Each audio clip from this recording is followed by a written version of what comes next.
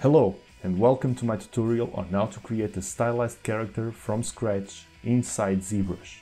In this series of videos you will find more than 7 hours of training on how I create a stylized detective up from blocking out with primitive shapes up to the posing stage. Creating a character is a long process that takes days or weeks depending on how far you want to take it. I'm here to show you my workflow while trying to keep it as simple as I can. Hopefully you will learn a few more tricks along the way.